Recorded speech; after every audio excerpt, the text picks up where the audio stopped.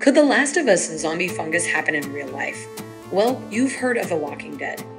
NSF funded researchers from West Virginia University have discovered what they're calling the flying dead. We're talking about cicadas that are being consumed by this zombie like fungus called Massospora. The parasite takes control of its host and uses it to distribute its spores. While it's happening, the cicadas are alive and crawl around like real life zombies for weeks. It's an extremely strange phenomenon, and scientists are just beginning to learn what's going on. Pretty chilling stuff. Zombies are real, and they're fungus.